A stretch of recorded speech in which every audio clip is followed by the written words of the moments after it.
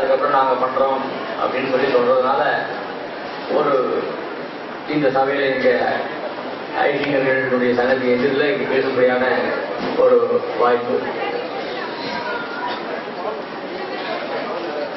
நிர்வாகிகளுடைய